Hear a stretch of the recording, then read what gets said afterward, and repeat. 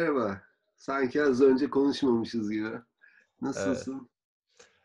İyidir Üstad, sen nasılsın? Sana İyiyim. her şeyden önce, yani sen şimdi bütün hep olayları en baştan almayı seviyorsun ya. Evet. e, böyle çok bayağı e, olayların başıyla ilişkili olabilecek bir haber gördüm Independent'ta. Onu paylaşacağım. Şey diyor. E, şempanzelerin gizemli bir davranışını bazı bilim adamları Tanrı'ya inanıyor olabilirler, olabilirlere yormuş. E, çünkü şöyle Bunu Olay- çıkarasım geldi buna. Karşılık. olay şöyle e, biraz okudum haberi tamamını okumadım ama ş- sanırım şunu yapmışlar. Kurdukları kameralar şempanzelerin şöyle davranışlarını kaydetmiş. İşte buldukları taşları falan ağaçlara atıyorlar. Ama bunun altında yatan herhangi bir sebep yok. Başka bir kabileyle savaş esnası falan da değil. Orada yaptıkları bazı davranışlar incelediklerinde gerçekten insanların ilk böyle eski ritüelimsi, ritüelistik hareketlerine, dinsel törenlere benzetmişler ve bunlar Tanrı'ya inanmaya başlıyor olabilir gibi bir yorum yapmış bazıları. Ya da evet. Hani Voltaire'in lafı vardı ya Tanrı yoksa bile onu yaratmamız gerekir durumu. Belki de şempanzeler bu şekilde hani zeka olarak artık alet, edevat kullanıyorlar. Gitgide ilerliyorlar bir şekilde. Belki de o hani Tanrı olgusunun artık yerleşmesi gerekiyordur. Evet, o çünkü en primitif şeylerde hep Tanrı var değil mi? Çünkü şey değil midir yani metafizik olan bir şeyi açıklamak hani in- insan aklı e, Tanrı'yı nerede kabul ediyor? Durduğu yerde, aklın durduğu yerde. Hani artık kainatın içinde bir kum tanesi olduğunu kabul ettiğin anda başlıyor ya ya da daha gerisinde. Öyle bir evrede olabilirler. Bilemiyorum. Evet. Bundan sonra ne yapacaklar? Dili geliştirecekler sanırım. Ee, Böyle bir iletişimi kuvvetlendirirlerse ateşe hükmetme, etrafındaki alet edevatları geliştirme falan derken postmodern maymunlar zaten e, şu an ekrana baktığımda iki tane görüyorum. Oraya Evet. doğru. Evet. Kel, biri saçlı. Ben Nasıl de kel- kelleşiyorum ya. Evet sende de bir şey var sanki Şuralar saçların. açılıyor. Neden oluyor bu? Yani bir de şey sanki hani bilmiyorum dünyayı ben gezmedim. Sen söyle de bizim millette bir şey var. Kellikle Yani ben de bir gezmedim ki. Yani hani Bunu Bilmiyorum, başka bir bilene soralım. Ha, ama bizim millette böyle bir şey yok mu sence de? Hani sürekli bir kellikle alakalı. Yani akrabalarda falan böyle saç açılması. Her ailede mutlaka var değil mi? Kellik. Ha. Yani bu en gür saçlı toplum kim acaba? Ya da neye göre değişiyor? Bunu e, bir gece araştırılacak bir konu. Dilik Evet bunu araştıralım. Evet. Ama bugün sinema konuşacağız. Sinema dedik. konuşacağız. Evet öyle dedik. öyle, öyle oldu. Hatta ben hazırlanmıştım aslında. Bir tane cümle hazırladım. Böyle giriş gibi bir cümle. Onun dışında birkaç bir şey. Biraz hazırlandım bu sefer ya. Ve giriş cümlem şöyleydi. Yapıyorum. Lütfen. Şimdi bu bizim deneme bölümü olarak çektiğimiz ikinci bölüm var ya. Ona Hı hı. baktım biraz böyle şey e, ürkünç bir yanı var. Böyle iki kişinin şeyine dalıyormuşsun gibi hiç e, alakasız şey bir sohbetine dalıyormuşsun gibi. Ama ben ürkünç şeyleri de seviyorum. Mesela psikolojik gerilim filmleri bazen çok acayip çok iyi olmuyor mu? Mesela Wake in Fright. Korkuyla uyanmak. Çok severim. Nasıl film? Ya psikolojik gerilim izlemek isteyen biri varsa Evet. ne yapmalı? Bence açıp Wake and Friday izlemeli. Ya o filmin tek sorunu hani e, bence aslında bazı filmlerin hani e, içerdiği sorunla doğru orantılı. Mesela o filmde 30-40'tan fazla kanguru öldürüyorlar. Hani sadece Evet. film adına yapılıyor bu eylem. Öyle miymiş? 30-40 mıymış o? Evet o orada öldürülen bütün kanguru sahneleri falan gerçek. Hatta yönetmenin açıklaması var. Ee, biliyorsun Avustralya'da yani dünyanın birçok yerinde e, avcılıkla ilgili hiçbir yasa yok neredeyse. Ve e, Avustralya'da da böyle bir gelenek var. Yani zaten Avustralya'da yaşanılabilecek sadece yerler hani kıyı kesimleri ve e, ortası çöl ve çölde işte e, Avustralya'nın yerli köpekleri, dingolar, işte kangurular, develer falan. Hatta yakın zamanda Develer bu arada Avustralya'da yokmuş. Nasıl olduysa ya tam emin değilim bundan ama öyleymiş Onu, sanırım. ondan ben İnsanlar, eminim. bırak, insanlar bırakmışlar. Orada deve popülasyonu da olmuş. ya, deve zaten Afrika'da ve Arap coğrafyasında e, olan bir hayvan. İşte zamanında Avustralya kıtası keşfedildikten sonra e, Kaptan Hook ve daha sonrasında işte e, İngilizlerin konuya el atmasıyla birlikte ki e, bildiğim kadarıyla Avustralya'ya ilk yerleşen Avrupalı yerliler suçlular. Yani artık hapishanelerde yer kalmıyor ya da bu suçluları ne yapalım falan e, diyorlar ve hani yeni bir kıta keşfettik oraya gönderelim yaşasınlar gibi bir şey var. E, ve işte ilk zamanlarda Avustralya'da ulaşımı şey yapabilmek için, sağlamak için develer götürülüyor.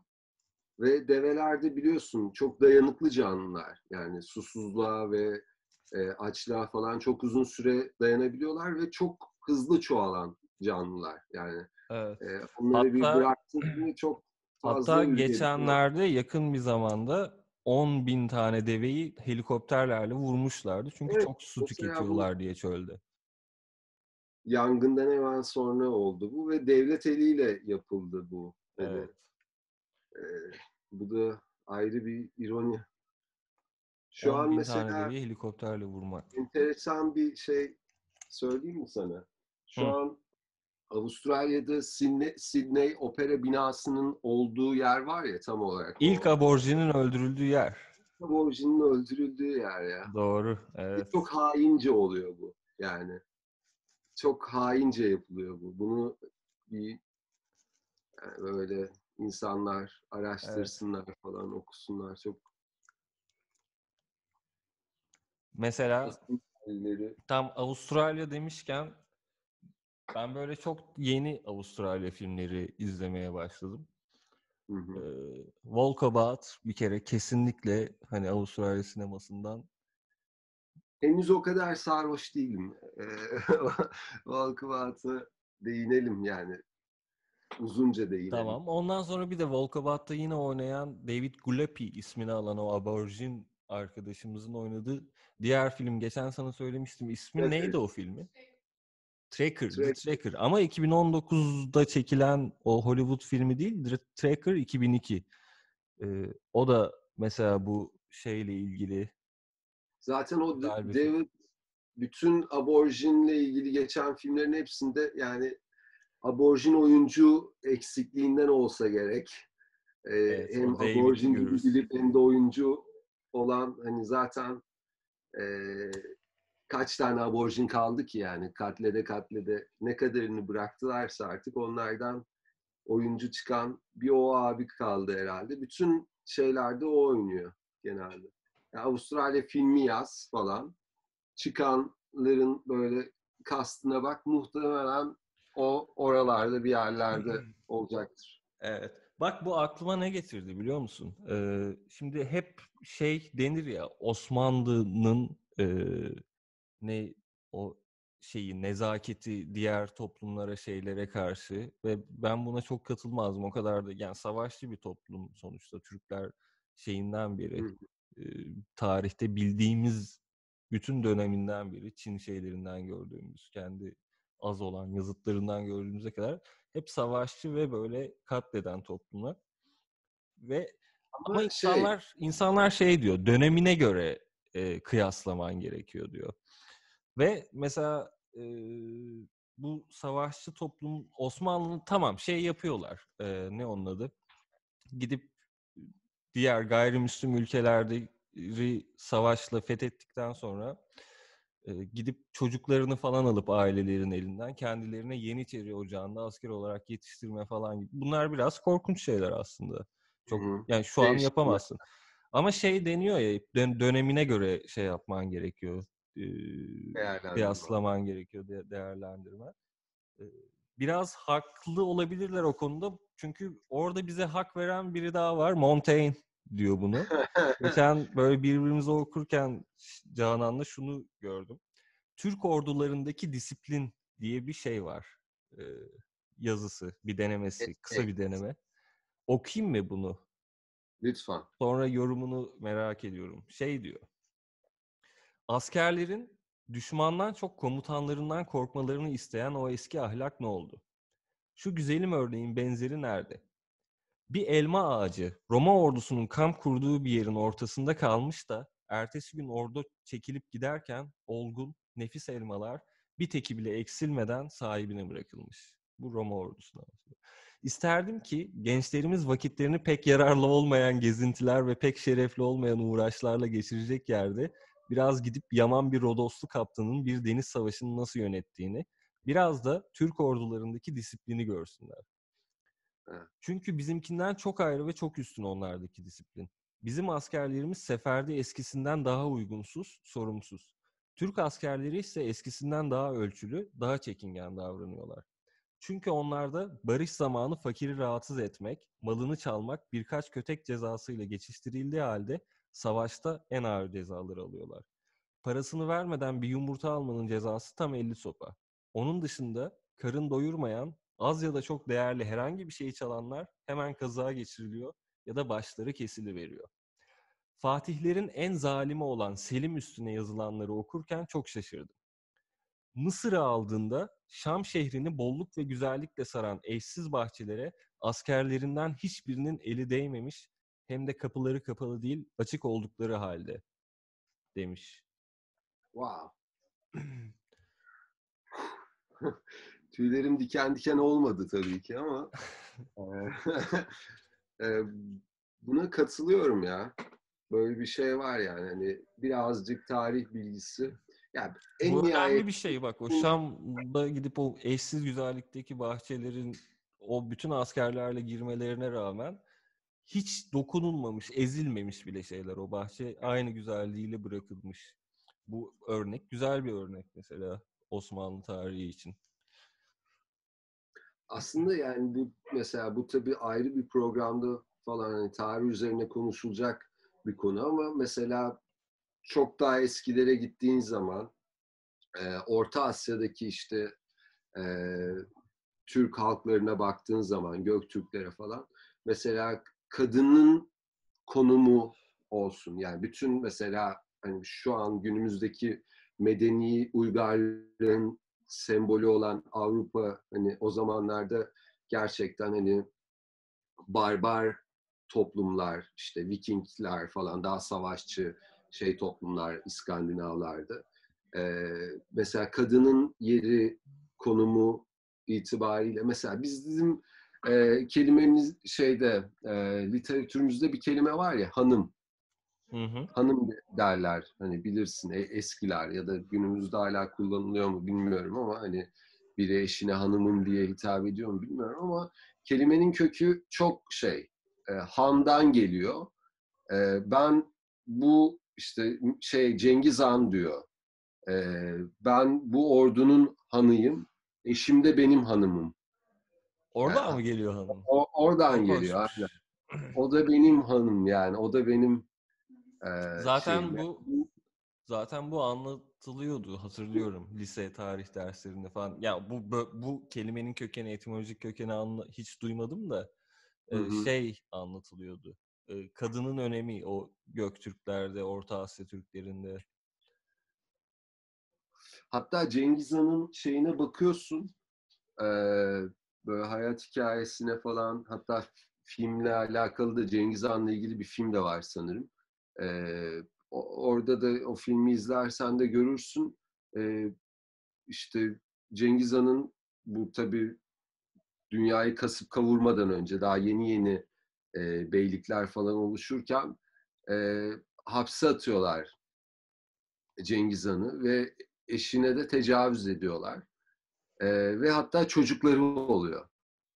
Sonra bir şekilde o hapisten kurtulduktan sonra e, eşini şey yapmıyor. O çocuklarını da kendi çocukları olarak kabul ediyor. Ve kaldığı yerden devam ediyor. Bu sürede de e, şeyi falan yöneten de eşi. Hani böyle çok acayip bir şey anladın mı? Yani tabii evet. dünya nüfusunun yarısını buna sinirlenip katletmemiştir muhtemelen ama e, e, böyle bir şey var ya bu hani çok artık klişe demode olmuş lakırtılar belki ama hani e, mesela işte Avrupa'ya hijyeni götürenlerde ön ayak olanlardan birinde Osmanlı'nın evet, e, burada Fransızların bulunmuş. bok içinde yaşaması. Evet, evet, bok içinde.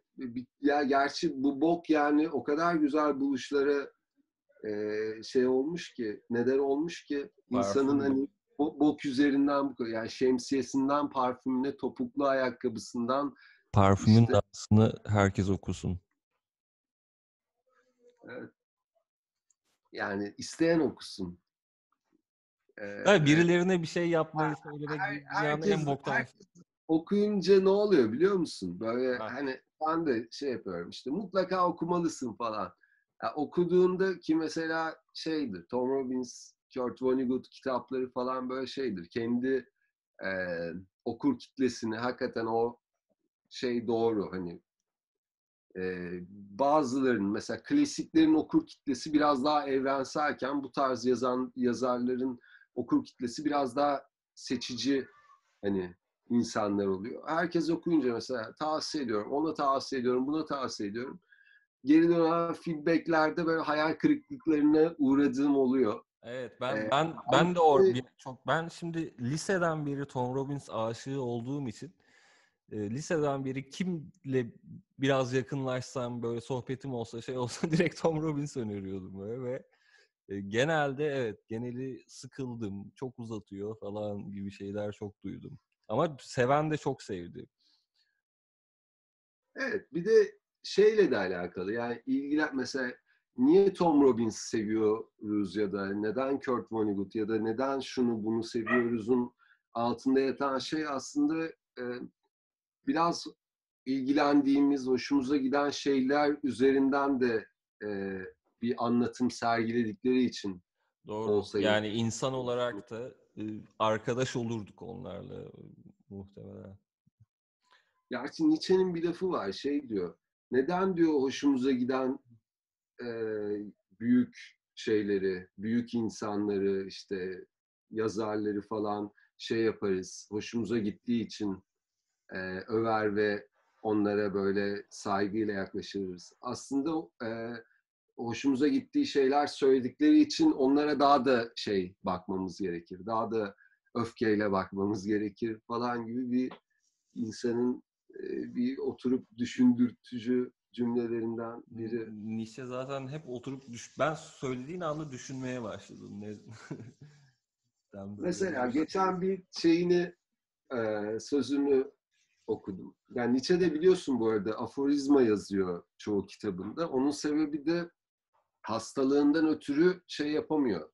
Çok uzun süre masa başında kalamıyor ya da çok uzun süre bir şeyin e, bir konunun üzerine gidemiyor. Zaten sürekli sabah akşam işte doğa yürüyüşleri, şeyler e, ve doğada hani yürürken aforizma halinde hani şeyini felsefesini daha çarpıcı cümlelerle açıklamayı seçiyor. Hı-hı. Mesela geçen bir tane sözünü gördüm şey diyor. E, artık kimse öldürücü hakikatlerden dolayı ölmüyor. Çok fazla panzehir var demiş. Öldürücü hakikatlerden ölmemek. Bu mesela... Öldürücü hakikat ne mesela?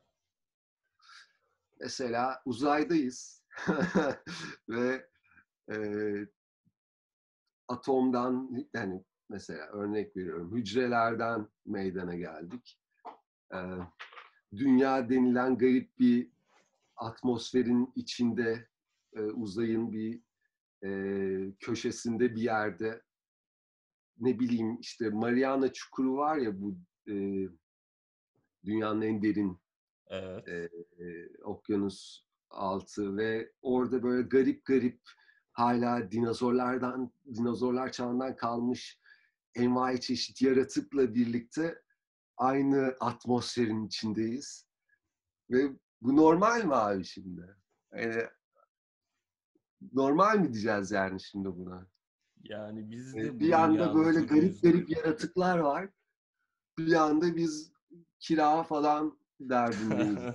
hani bilemiyorum. Bu arada yani. şeyin e, evrenin ücra köşesinde olduğumuz e, kesin bir şey. Çünkü bize hani mesela ilk başta ilk gök bilimcileri falan da astroloji daha öncesinde hep şey sunulmuş ya. Bu fikre asla karşı çıkılmaması gerektiği düşünülmüş. Evrenin merkezinde dünya olduğu. Sonra işte hayır, e, evrenin merkezinde güneş var denilmiş. E, sonra işte hayır, güneş de yok. Biz sadece birçok e, galaksinin içinde milyonlarca güneş var. Bizim güneşimizde bir galaksinin içindeki bir güneşten biri sadece. Ama bunu düşününce de ama galiba ilk de şey düşünülmüş. Bizim galaksimizde biz merkezdeyiz. Ama hayır sonradan o da ortaya çıkmış. Samanyolu galaksisinde merkezde falan değil uç kollarda bir şey birindeyiz biz. Şeydeyiz, aynen. Hatta arkamızda büyük bir boşluk falan var. yani. evet. Daha böyle, e, na- nasıl bir şeydeyiz? Yani tabii onu haritalandırmak saçma ama biraz daha e, güneydoğu gibi bir tabii nereden baktığına. Sarmal oluyor ya galaksiler. Bir kolundayız yani böyle uzaktayız. Merkeze bayağı uzağız ya. Kız kardeşimle bugün konuştum falan. Ee, Biraz onunla böyle dertleştik. İşte o da şeyden bahsediyor. Yani malumun hani Türkiye'de yaşayan bir kız, e, Türkiye'de bir kadın olmak konulu e, sempozyumumuzda işte o da bir takım şeylerden muzdarip. E, gerçekleri fark ediyorum abi diyor mesela. E, hani her şeyin farkındayım ama mesela senin kadar ya da kendimde bu cesareti bulamıyorum. Hani hakikatin peşinden gidecek hani e, şey yapacak hani ailem, to- toplum ben de sadece uyum sağlamaya çalışıyorum diyor buna. E, şey yapamıyorum diyor hani Evet. kendimde bu güveni bulamıyorum diyor. Terence McKenna diyor ya e, bu toplumda akıl sağlığının bedeli belli bir düzeyde yabancılaşmadır. İşte Delilik yani. yabancılaş, delilik o yabancılaşma olmadan akıl sağlığı değil. Uyum sağlamaya çalışan anksiyeteli biri olabilirsin ancak antidepresanlarla hayatına devam edebilirsin. Ben de ona şey dedim yani yalnız değilsin bu konuda dedim. Galileo bile dünyanın yuvarlak olduğunu iddia ediyor. Orta Çağ İngizisyonunda. Ve diyorlar ki hani dünyanın yuvarlak olduğunu söylüyorsan seni giyotinle öldüreceğiz diyor mahkeme. Aa pardon pardon dünya düzmüş diyor. Vazgeçiyor abi söyleminden. Sonra çalışmalarına devam ediyor. İşte biliyorsun teleskobu geliştiriyor. yeni yıldız haritası oluşturuyor falan. Bugün yine tarih Galileo'yu yazıyor. Yani bu Galileo sahtekar diye yazmıyor. O dönem herif hani uyum sağlamaya çalışmış. Yoksa Kellesi gidecek. kellesi gidecek adamın yani. Hani tamam o- olabilir bu gerçek ama hani şu an buna hazır değil demek ki dünya demiş olsa gerek. Doğru. Her neyse sinemaya döner. Ee, mesela ilk e, suallerimden birini konuşabiliriz. Bu Waking Fright filminden bahsettik ya Avustralya filmi. Oradaki e, filmde kanguruların öldürülmesinden bahsettim. Hı hı. Ee, sinemada böyle bir şey var. Mesela bunu e, biraz açalım istiyorum. Evet, Hani- mesela Coppola'nın Apocalypse Now'da orman Evet. yakması, koca ormanı yakması gibi. Kendisi de şey diyordu zaten. Ben Ama bir şey bir film çekmiyorum. Vietnam'ın hani kendisi Bu, bu bir Vietnam Savaşı hakkında bir film değil. Bu Vietnam Savaşı diyor. Vietnam Savaşı. Ama Filipin'de çekilip Filipin ormanlarını yok etti Şey, Evet. e, bu Wake in Fright'ta ama o sonda bir açıklaması vardı ya. Evet, bu filmde, yani her filmde şey olur. Bu filmin yapımında hayvanlara, doğaya zarar verilmemiştir. Der. Wake in Fright'ta bu filmde zarar verilmiştir. O kangurular gerçek öldürme sahneleridir. Gerçek avcılar yapmıştır bunu diyor. Ama biz bunu e, böyle e, bunu yüceltmek için değil, korkunçluğunu gösterip e, insanlara daha e, çünkü insanlar farkında değil. Mesela ben geçenlerde şey demiştim. e, böyle ormanda kalma hakkında böyle bazen salak salak şakalar yapıyorum ya ben. Kuzenlerimleyken avlarız bir tane hayvan, yeriz, öyle hayatta kalırız gibi böyle salak salak şakalardan birini yaptım yine. Cani misin sen ya falan dedi bana. Bunu bana diyen insan et yiyen bir insan. evet, ve. İşte bu bilinçte değil o şeyde e, tabakta yediğin için onu böyle bir Önüne meta şey nasıl edilmiş. geldiğini bilmiyor önüne. Yani nasıl gel biliyor şey elbette. Bir hayvan öldürüldüğünü biliyor da o o kadar delikanlıyız, hani madem o kadar tamam yiyoruz sorun yok, tamam yiyelim et. E, git o zaman hani var mı öyle bir delikanlı? Hiç e, böyle şeylere başvurmayacak, silah, ok bilmem ne. Git abi o zaman tavşan yakala. Yakalayabilir misin yani? Böyle bir dünya var mı? Hani, ama önüne ya kasaptan... öyle de değil. Yiyen yes ben o kadar tam böyle aktivistlik şeyinde değilim. Ben e, katılmıyorum. Bu bilincimizde yemek zorunda değiliz ama öyle tam böyle bir vejetaryenizm, veganlık aktivizmi olmasa da bu Wake Fright'taki o son cümlenin, o filmin sonuna geçen cümlenin söylediği şeye katılıyorum. Orada hayvanlar öldürülüyor, kangurular öldürülüyor evet ama o filmi izlediğinde şok ediyor seni gerçekten. O gerçek ölüm sahneleri. Ee, ve bence amacına da ulaşıyor. Mesela o Wal- Walkabout'taki şey sahneleri çok iyi değil miydi? Ee, o aborjin ok atıyor, şeyi atıyor, mızraklarını atıyor, hayvanları öldürüyor. Aynı zamanda kesiyor şeye. Modern hayatta işte eti kesiyor kasap falan. Ona kesiyor falan. Çok Çünkü güzel. onu yapmasa çok iyi yapmış adam onu. Onu yapmasa işte caniler falan diye bakacak milyonlarca insan var. Bu aborjin canileri. E, yani kasap farklı bir şey mi yapıyor? radyo programından falan da yemek tarifi şeyleri veriliyor ya. E, orada. evet şey diye giriyor önce böyle şey kuşları önce kuşların ötmesiyle başlıyor falan. Ee, işte doğadaki tatlı şey kuşlar en lezzetli halleri diye devam ediyor. Acayip bir filmdi ya gerçekten. Hani her anlamıyla ya çok fazla katalizörü var o filmin. Hani filmi e, böyle masaya yatıracaksak. Hani birçok mesela dil üzerine çok iyi bir güzelleme. evet Evet, çocukla bayağı anlaşmaya başlamaları Hani falan. kız şey diyor yani voda, voda hani Butter. basit bir şekilde söylüyorum falan diyor. Hani. Daha nasıl anlatacak? Daha nasıl anlatabilirim sana hani en basitiyle. Çocuk uy, uy, uy, uy falan yaptığında ha Neydi? Onu Gupa, değil. gupa. gupa gupa. Gupa mıydı öyle bir şey? Suyu. Aborjin Üstad bu su- arada televizyonunun sesini kısman gerekiyor sanırım. Çünkü yankılanıyor mu benim? Yok. Ha geçti. Tamam geçti geçti. biraz kısabilirim. Okay. Sesim nasıl geliyor mu? İyi. Bu harika. Kulaklığıma güzel geliyor. Bu arada katılıyorum sana evet yani o e, filmin hani yani evet bir mesaj vermek için bir takım şeyler e, bazen göz ardı edilebilir. Bununla ilgili hani aynı fikirdeyiz. Evet, çünkü Sadece ben böyle sinema hani olunca böyle ne, nedense hani sinema 100 yıldır olan bir sanat hani. Öyle değil mi? Kaç şu an ne, ne oldu? 120 yıl mı? Yani o, o civarlarda. evet, 1800'lerin Yani sonu. 1890'lar falan dersek böyle tam şey yaparsak. sinema hani biz sinemanın içinde doğan çocuklar olarak ve sinema böyle sanki ne yaparsa yapsın mübahtır gibi bir şey var. Yani bu bütün şeyleri için geçerli. Hani e, yönetmeninden oyuncusuna. Hani geçen seninde de şey yaptık ya mesela metot oyunculuğu adı altında mesela hani e, enteresan şeyler olabiliyor yani. Böyle Daniel Day-Lewis'ler, işte Marlon Brando'lar, Jim Carrey'nin bir e, Andy Kaufman'ı mesela şey yaptı, canlandırdı. Milos Forman'ın yönettiği neydi o film?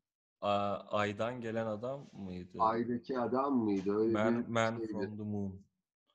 Mesela o filmde onun sonradan belgeseli çıktı. Jim and Andy diye. E, ve sette nasıl bir dünya yarattığını izledim. Öyle değil mi? Evet. E, bütün seti kukla haline getirmiş adam resmen. Ve hani orada çalışan bir reji olduğunu falan düşünsene yani. Hani sikerim Şey, filmini yani artık sikerim Jim'ini ne geliyor işkence gerçekten. Bayağı orada bir Ama şey o, var. onda şöyle bir şey var. Andy Kaufman da işkence gibi bir adam zaten. Adamın komedisi öyle. Öyle bir komedyen. Hayatını böyle insanlara işkence ederek ve öyle bir mizah yaparak geçirmiş. Ve Andy Kaufman'ın eh, çok iyi de yapmış bunu. Her şeyle taşak geçmiş. Ve Sonradan- ölmüş adam. Hı? sonradan e, ciddiye alınan adamlardan biri olsa gerek. O dönemde hala bu adam hani taşak mı geçiyor yoksa gerçek mi ayrımında olan Amerikan seyircisi vardır muhtemelen onu taksi filminde şeyinde dizisinde falan izlerken. Evet, çok fazla vardır. Şey hikayesini çok seviyorum ben. Hani bir gösterisinde e, şimdi Andy Kaufman ne zaman stand-up gösterisi yapacak olsa insanlar acaba şimdi ne yapacak diye gidiyor. Çünkü hiç bilinmiyor. Çok garip garip şeyler yapıyor hep. Her seferinde bambaşka bir şeyle çıkıyor. Bazıları gerçekten Kitap inanılmaz Ba- bazıları gerçekten inanılmaz komik oluyor. Çok başarılı hazırlanılmış, yapılmış şeyler oluyor. Birinde de e, geliyor, çıkıyor sahneye. Bir sürü seyirci artık biraz şöhret olmuş. Şimdi acaba ne yapacak Andy diye gelmiş. Suç ve cezayı açıyor Dostoyevski'nin. Okumaya başlıyor. Ve herkes kahkaha atıyor. Ha ha ha. Andy Kaufman'ın mizahından. sayfa, iki sayfa. Devam ediyor. 2 sayfa, 3 sayfa durmuyor. 50 sayfa falan. Herkes seyirciler terk etmeye başlıyor. Ve sonuna kadar bir kişi kalıyor seyirciler Değil mi? Ve kitabı bitirdik ki, ki Suç ve Ceza da ben lisede okumuştum. Kaç? Benim okuduğum böyle 800 sayfalık, Alt- 900 sayfalık bir şey. 600 sayfa galiba. 900 yoktur ya. 600-700 sayfa. Çünkü Karamazov o 900'lerde. Ha. Karamazov biraz daha kalın. Neyse 600-700 işte. sayfa da Gerçekten okuyor, bitiriyor ve o bir tane kalan adam alkışlıyordu sonunda. Dostoyevski seven bir arkadaşmış Ya muhtemelen. da Andy Kaufman'ı çok Ya seviyorum. da Andy Kaufman'ı seven. Aynen. Ya da ikisini birden seven. Ne yapardın sen acaba? Kalır mıydın sence? Ben mi? Ee, mesela bu bilincimle Andy Kaufman'ı ben de çok seviyorum şu an. Ee, kalırdım muhtemelen. Dinlerdim orada suç ve cezayı. ya. Ay, Ya da bilmiyorum çok uzun ya. Hiç buna kesin bir şey söyleyemem. Gidebilirdim de.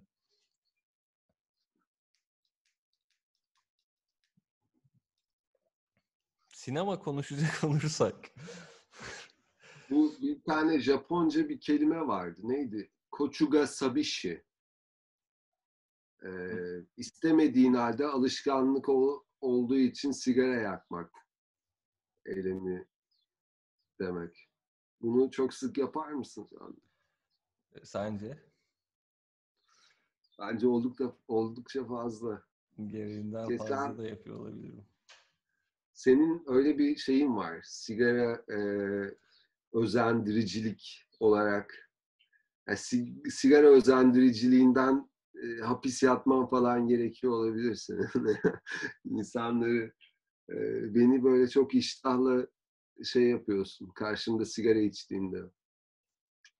Ee, bilmiyorum. Hatta geçen Serkan Keskin e, bir programa katılmıştı. Onun şeyini izlemiştim. E, o da biliyorsun böyle iyi sigara içer filmlerde falan. Birkaç filmi. Sen aydınlatırsın geceyi gibi filmlerinde falan.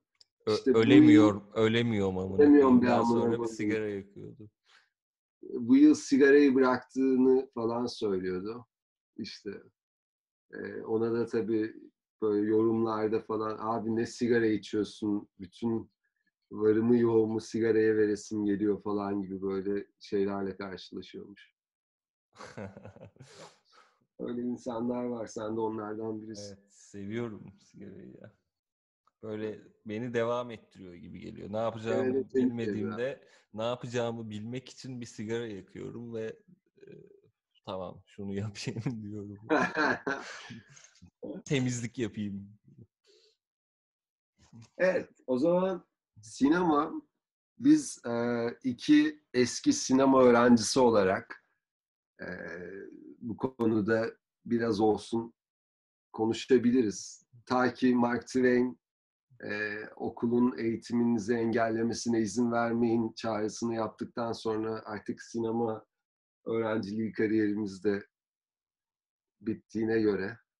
Evet, üniversiteler yere... zaten bana bu çok ayrı bir konu ama e, modası geçiyormuş gibi geliyor. Yani şu an değil tabii. E, bu uzun zaman alacak bir şey olabilir. Çünkü bilgi, yani üniversite bilgi alma yeridir ya.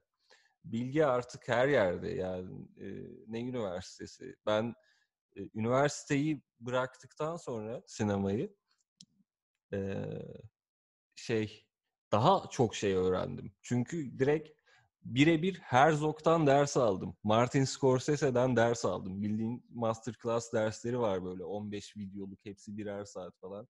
Yani 15 saat yapıyor her birinden.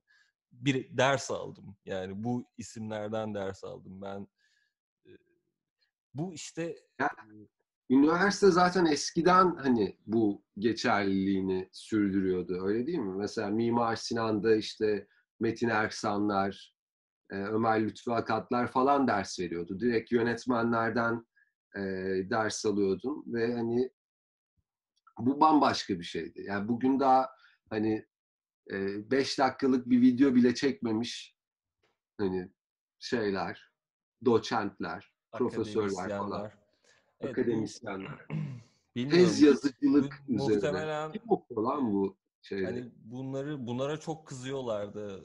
Onlar da çünkü ayrı bir şey oluyor. Daha sinirli adamlar oluyorlar. Çünkü e, kendileri yapmadığı bir şey hakkında böyle bir öğreticilik konumuna bizim... geldikleri için kendi içlerinde bir şey var sanırım bilmiyorum. O yüzden biraz sinirli yaklaşıyorlar. Yani bunu dediğini biri duysa şu an ağzına sıçmaya başlıyor olabilirdi.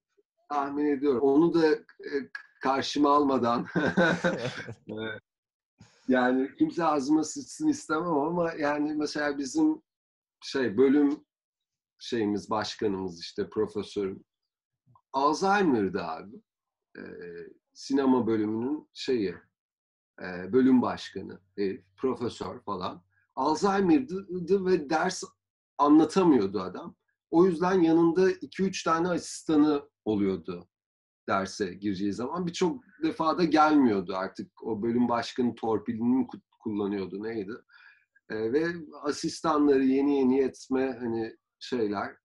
E, benden işte dört sene önce mezun olmuş falan biri gelip bana işte şu kitabın şu sayfasında şu bölümü e, okuyoruz şimdi falan gibisinden e, bir ders anlatma çılgınlığı dalaletine falan kaptırılıyordu. Yani saçma anladın mı yani sen tamam profesör olmuşsun ama Alzheimer da olmuşsun anladın mı yani bu kadar bilgi ne oldu şimdi? Ne oldu abi bu kadar bilgi şimdi Hani bunu niye kimse söylemiyor yani? Bu kadar bilgi e, artık bir çöplük yani. Beyin o zaman ne işe yaradı yani? Hani öğrendiğini unutacaksan eğer ne anlamı kaldı ki bu kadar bilmenin? Daha e, az önce konuştuğumuzda da söylemiştim. Kimin? Bergman'ın mı? Kurosawa'nın mı ne bir filminde? Her şeyi öğrenmek istiyorsun. Ama bir bakıyorsun hiçbir şey yapmıyorken buluyorsun kendini. Her şeyi öğrenmek isterken. Çünkü her şeyi öğrenmek istemenin öyle bir şeyi de var sanırım. Etkisi. Ee, durdurtabiliyor bazen seni. Çünkü çok fazla şey var. Her evet. şey çok geniş bir konu yani anladın mı? Bu arada not alıyorum. Ne? Pis, psikoterapi mi yapıyoruz şu an? Çocukken hatırladığım ilk anım Neye not alıyorsun ya?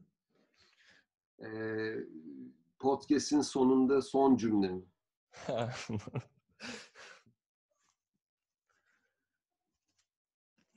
çocukken mesela çocukken sinema ile ilgili e, yani şey o şundan bahsedebiliriz.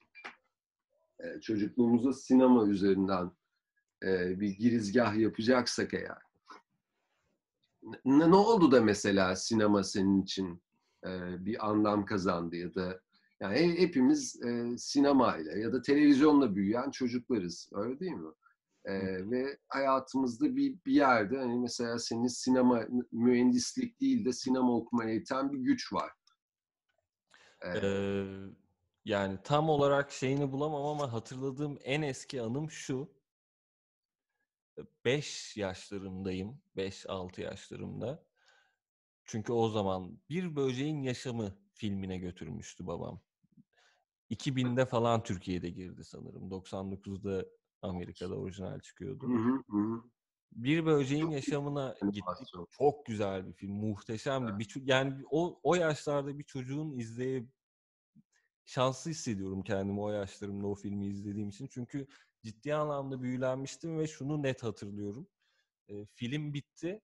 Böyle işte jenerik akıyor falan. Babam ayaklanmaya başladı. Kalktı böyle. Ben ilk kez sinemaya gelmişim. Oturuyorum, duruyorum. Babam hadi gidiyoruz Alp dedi.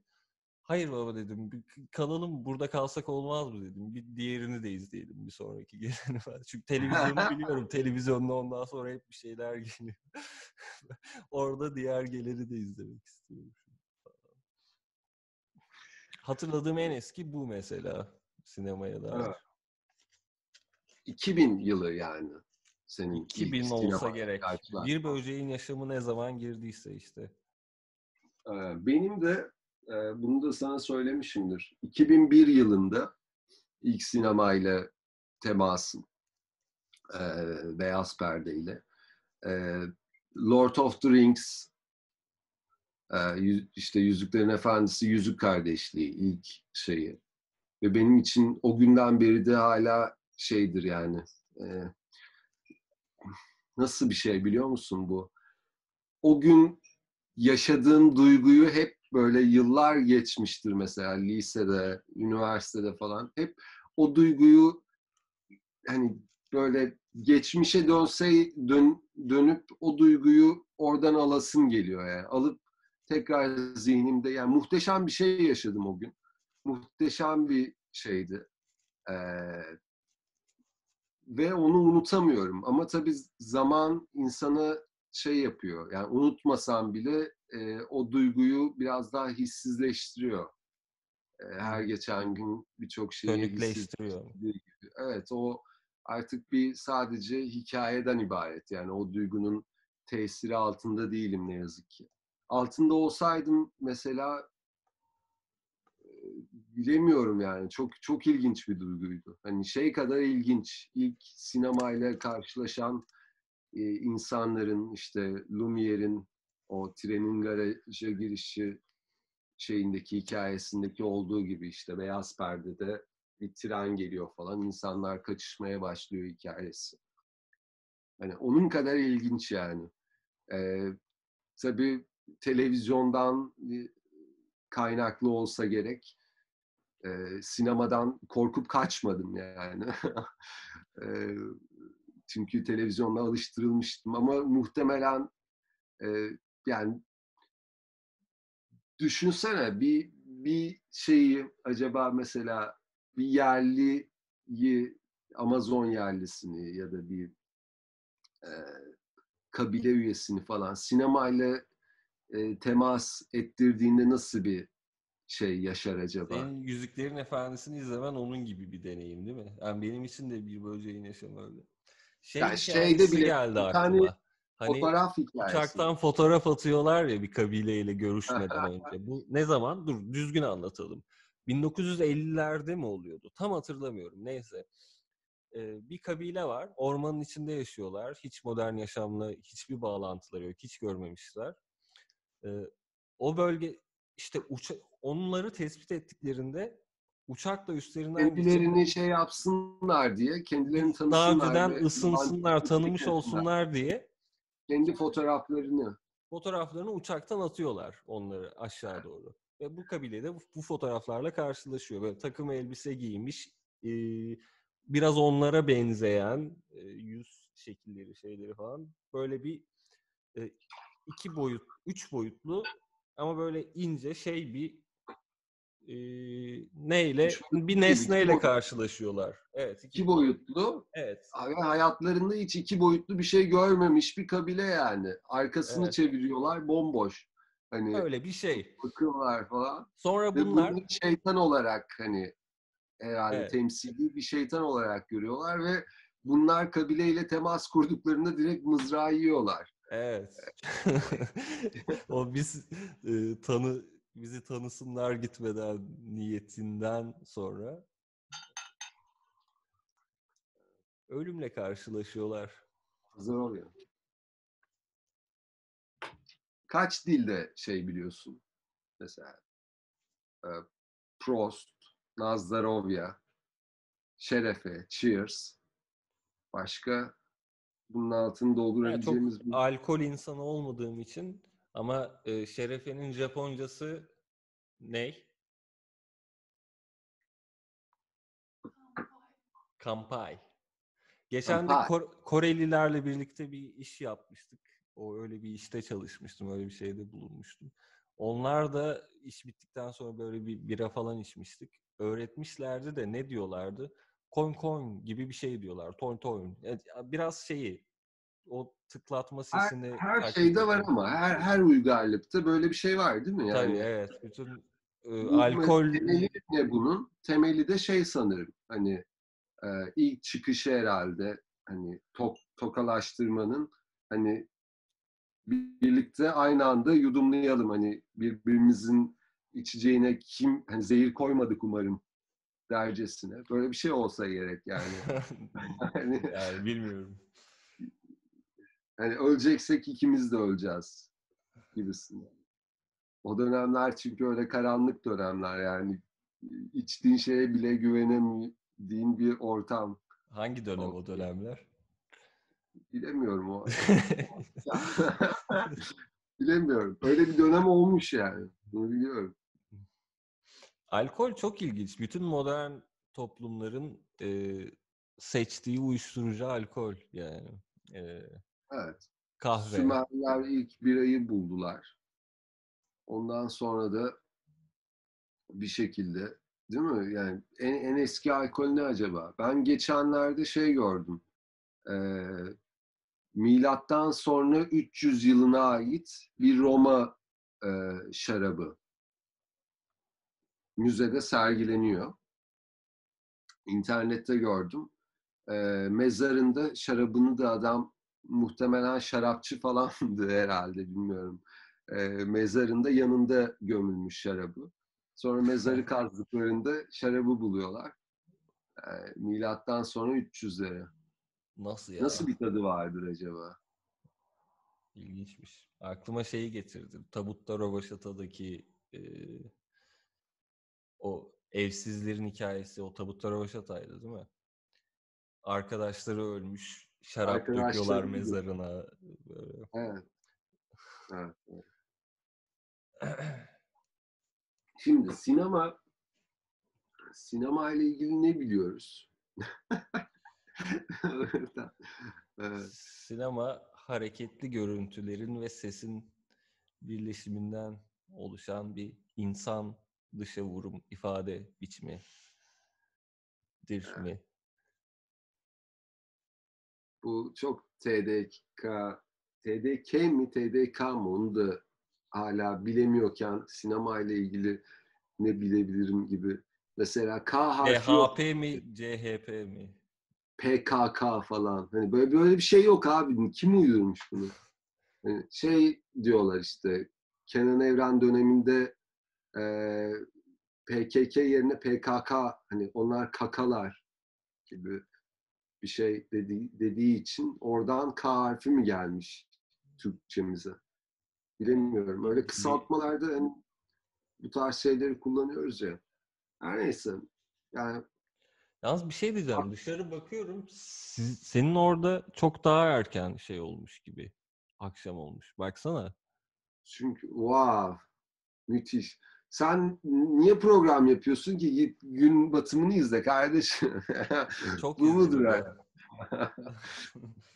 ne kadar bakarsan bak. Gerçi yetmiyor değil mi? Her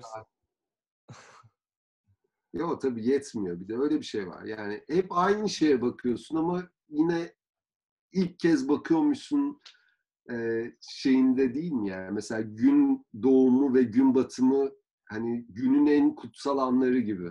Evet. Çünkü güneşle herhalde bağlantılı. Yani Haziran'da ilk hem insanların da hem ay tanrı olarak hem kabul ettikleri şey güneş ya. İlk hani tapılan şey insan için güneş oluyor. Güneş böyle bir şey işte ya. Evet. Atsan atılmaz, salsan salsan. Geçen bir şey gördüm. Şöyle bir şey yapmışlar. İsa'nın şimdi farklı kültürlerde hep farklı tasvirleri var ya işte daha siyahi milletler siyahi siyahi bir şekilde tasvir ediyor, çiziyorlar, şey yapıyorlar. İsa'nın görüntüsü işte Hı hı. Avrupalılar için beyaz böyle sakallı, hepsinde uzun saçlı bir şey. Şey, Hani bu klasik şey var ya şuna nasıl görünüyorum, buna nasıl görünüyorum, aslında nasılım falan gibi. İşte be Avrupalılara nasıl görünüyorum, şunlara nasıl görünüyorum, bunlar için nasılım. Aslında neyim? Aslında neyim kısmında da güneş koymuşlar. bu Çünkü şey İsa dedim güneş Evet. Bütün şeylerde var bu ama. Neydi? Zeitgeist miydi? O belgeselde bahsediyordu bundan. evet. Bütün Krishna'sından Dionysos'una İsa'ya kadar hani bütün Mısır, hepsindeki o Mısır mitolojisindeki dağlar, güneş tanrısı hepsinde bu şey var. Ee, işte güneşin temel alınması, 12 rakamı. Zaten temel o- 12. en genelde tam olarak da değil ama e, gökyüzünü izleyerek e, yapmışlar bu astrolojik şeyleri. Hep onlarla bağdaştırmışlar. Ku- e, mesela yıldız takımlarına baktığında bütün toplumlar farklı şeyler görmüş. Kimileri işte e, hükümdarın karşısında oturan iki tane ondan af dileyen şey görmüş falan. Çünkü hani o çok önemli Hı. bir şey hayatlarında. Hükümdarın karşısına çıkacak bir şey olduysa kellen gidebilir. Öyle bir şey atfediyorlar. Yıldızlara başka şeyler atfediyorlar. Ha. göğü izleyerek yapmışlar yani bunları. Göğü izleyerek en şey yapan herifler de Dogonlar herhalde. En çığır açıcı hani Dogonlarda farklı bir şey var ya onlar. On- Ya bazen insanın gerçekten aklı duruyor yani bu tarz şeylerde. Hani kendilerinin iddia ettiği şeyler hiç de o öyle hani Zaten e, şey ya mesela Sirius'tan neydi? Jumbo muydu? Lumbo muydu? Öyle bir şey. Nommo. Nommo Nommo. diye Sirius'tan Nommo diye e, kendilerinin biraz daha tanrı gibi atfettiği şeylerden Yani geçmişlerinde bir uzaylı ziyaret ziyaret edildiklerine inanıyorlar ki bakıldığında Sirius o bu de şeyde ona, ona amfibik bir şey bu bir de balık gibi su ı, olabilme ihtimali yüksek görünüyor. Bilim şu an bunu söylüyor. E, Çünkü ışık şeylerine bakarak hangi maddeler, elementler olduğunu bulabiliyorlar ya artık. Ve e, Sirius'un tam olarak nerede olduğunu ve Sirius B olduğunu ve Sirius C olduğunu iddia ediyorlar bu adamlar. Sirius B. B B ye- 70'lerde falan bulundu sanırım. Bilim bilmeden önce bu adamlar tam olarak yerini de söylüyorlardı. ve bilim daha sonra keşfetti bunu. Gerçekten evet bunların dediği gibi orada bir şey var. Bunu nasıl biliyorlar kimse bilmiyor ama. Hatta şey C'yi de yeni bulduklarını biliyorum. Sanırım. Onu o Çok kadarını yeni. bilmiyorum. Bulunmamış. 10-20 senelik bir şey. Yani Sirius C'yi. Çok acayip. Bir de bu adamlar logonlar. Mesela Google'a Dogon yazarsan çok acayip acayip insanlar çıkacak. Bu insanlar Maskları. o insanlar. İşte timsahlarla birlikte falan yüzüyorlar nehirde. Ve hani hiç timsahlar bir şey yapmıyor onlara. O amfibik çünkü nommo balık tasviri, tanrıların tasviri. Evet. Suyla evet. böyle ilginç bir şeyleri de var. Çok ilginçler hakikaten. Evet. İşte yani en üzücü şey de ne biliyor musun? Bu mesela Jared Diamond'ın e, Tüfek Mikrop Çelik kitabını okuduğumda şeyden bahsediyordu. Mesela Polinezya halklarını hani inanılmaz seyir sefercilerin falan bilgisini biliyorsun. Hani e, yıldız haritası okumaktaki hünerlerini e, pusula yok ya da her, herhangi bir cihaz yok ama e, kilometrelerce, millerce birbirine uzak adalara e, sadece yıldızları izleyerek hiçbir şekilde hani hatta şey diyor ünlü bir seyir seferci hani yıldızları izlerseniz kaybolma ihtimaliniz yoktur. diyor ve bu şekilde hani e, yönlerini bulabilmeleri e, Jared Diamond şeyden bahsediyor. E, Kaptan Hook dışında ki Kaptan Hook da hani e, çok kısıtlı bir öğrenme çabasına girmiş. Onun dışında bütün e, istilacılar bu bilgileri hani öğrenmek yerine direkt o toplumları yozlaştırmaya gitmişler.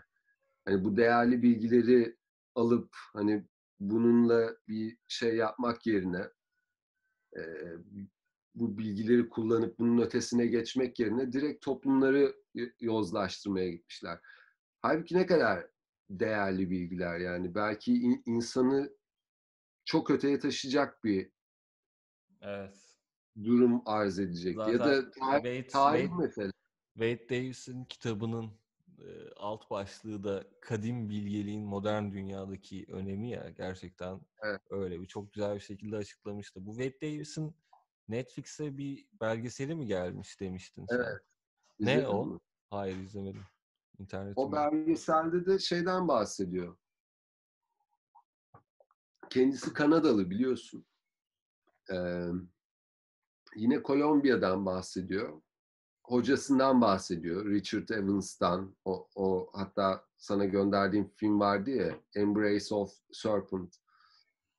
Ee, oradaki aslında şeyinden ilk e, Güney Amerika'ya gidip oradaki yerlilerle falan iletişimden. Hatta bu Yage denilen bir saykedelik var. Yage aslında ayahuasca'nın bir diğer adı diye biliyorum ben. Orada evet aslında hareket. aynen o o o zaman Yage değil başka bir şeydi. Yine onun gibi aynen ben de şu an ayahuasca'nın diğer adı olduğunu fark ettim. Başka bir saykedelik. Çok seviyormuş onu çiğnemeyi Richard Evans falan. E, ondan bahsediyor yerlileri. Hani hocam da çok severdi falan diyor. Aa diyor hocam da işte hani atıyorum kokain ise kokain mandır ya. O, hani o artık neyse o psikedelik şu an unuttum. O da onun sevicisiymiş. Hani kendi yerlilerin arasındaki bir... öyle bir şey var. öyle bir şeyleri var yani. Mesela o... şey geçen McKenna'nın şöyle bir sözünü gördüm. Şey diyor. Batı aklında şöyle naif bir varsayım da var diyor. Hani gidip bir şamanla bu deneyimi yaşadığında, ayahuasca yaptığında falan aydınlanacağını düşünüyor. Ve herhangi bir şamanın buna gerçekten yardımcı olabileceğini ve bütün o bilgilerini ona aktaracağını düşünüyor. Öyle bir şey yok diyor. Şamanını da dikkatli seçmelisin. Onlar da insan diyor. Kötü niyetli şamanlar da var ve bazıları hani o zor edinilmiş bilgilerini sana neden direkt versin ki? Dış, dışarıdan gelmiş birisin böyle şey diyor. Ayrıca hepsi ben, hepsi bunu yapacak insan değil yani. Şamanın da dikkatli seçmelisin diyor. Ayrıca ben şeyleri de gördüm. Ee, şamanlığa giden yoldaki çekilen o e, kutsal çileleri falan da gördüm. Bugün hani zannetmiyorum ki hiçbir modern e, toplumda barınan bir insan o tarz şeylere mail etsin. Hani hangimizin yani o ayahuasca yani. deneyimleri, ritüeller O- falan da öyle ormana falan bırakıyorlar. falan Hayır ormana bırakıyorlar günlerce aç susuz kalıyorsun falan böyle çaresiz işte ayahuasca kafasında bilgi geliyordu da. Evet neler yapıyorlar ya. Bir- Terletiyorlar insanları. Sen anlatmıştın. Sting'e neler yapmışlar bu izle. şeyler var. Karınca e, böyle acı çektiren bir Termit. karınca Termit. termitler gibi. sanırım bir şeye geçiriyorlar böyle ince bir şekilde karıncaları böyle bağlıyorlar bir çubuğa ve yavaş yavaş şey e, sırtına vuruyorlar ve her e, o karıncalı sopa her vuruşunda karıncalar bir tehdit olarak algılıyor onu ve e, şeylerini iğnelerini batırıyorlar falan ve bu iğneler muazzam acı çektiriyor insan Ki, bedenine. ki bir de düşün ıı, bir psikedelik deneyim yaşıyorken bunu yaşıyorsun üstüne. Çünkü yani psikedelik deneyim biraz şöyle bir şey. O an her ne yaşıyorsan e, bin katını bin katı hissediyorsun o yaşadığın şeyi. Acıysa bin katı acı hissediyorsun. İşte sevgiyse, mutluluksa bin katını hissediyorsun gibi biraz diyebiliriz değil mi? Ve belanı bulursun yani. Şakası yok bu işin. Evet. tabii biz, biz mesela o Sting'den bahsetmiştim ya sana işte peyote aldığında hani bir ineğin doğumuna falan şahitlik etmesi gibi hikayelerinden. Mesela orada şeyden de bahsediyordu hani bunu yapacaksanız biz biraz hani mo- modern toplum genel olarak bunu biraz daha hunharca hani her şeyi tüketmek ve hunharca kullanmak üzerine kurulu bir düzenimiz olduğu için bu tarz hani e, maddeleri de biraz şey alıyoruz, kontrolsüzce hani haz ve arzu tutkusuna yenik düşüp tükettiğimiz için e, asıl ne manasını tabii kavrayabiliyoruz ne de özdeki şeyini. Yani o Sting de şeyden bahsediyordu. Hani bir şeye yani bunu yapmadan önce hani ne- yapmak istiyorsun? Şarkı mı yazmak, şiir mi yazmak, bir roman mı yazmak? Hani bir bir şey için bir bağlayıcı bir neden bulman gerekiyor. Yoksa kaybolursun. Ve kaybolmak diyor dostlar hani gerçekten kaybolmanız anlamına gelir falan diyor yani. Öyle bir Ee, varoluş bunalımı gibi bir şey değil bu. Kaybolmak. ya ben de neler gördüm ciddi anlamda. Şakası olan şeyler değil yani. Ya bizim bu arada bizim bu e, şey çenemizi e, kadim toplumlar çenemizi kapatmamız Değil nasıl bir zaman alacak? Yani ya ya gidip hani bunu deneyeceğiz abi orada falan ya da nasıl olacak bilmiyorum yani bu. Bu arada ben şey yapamadım Alp. E, When System Dialog Prompt Click Allow diyor. Ne? O ne ya? When System Dialog Prompt Click Allow. Zoom mu diyor bunu sana? Evet. Seni göremiyorum. Sen beni görüyorsun ama. Evet görüyorum. Tamam ben o zaman Üstad bayağı konuştuk ya yine. Ee, sinemayı e, bir sonrakine mi bıraksak yine? Bir türlü konuşamadık. Bunu durdurup devam edelim ya. Şeyin mi var? Sen kesebiliyor musun şeyi? Konuşmalarını. Tamam. Şu an tekrar bağlanayım. İşi- Yani uygun musun? Dur tamam şunu kapatayım bunu şu an o zaman. Ee, Bunu kaydet. Bunu bir şekilde bağlayalım. Tamam tamam. O sorun değil. Bunu kaydediyorum sonra tekrar şey yaparız. Bir çişim falan da geldi zaten. Tamam. Okey. Sen bana yine gönder linki. Tamam. Ben gideyim. Tamamdır.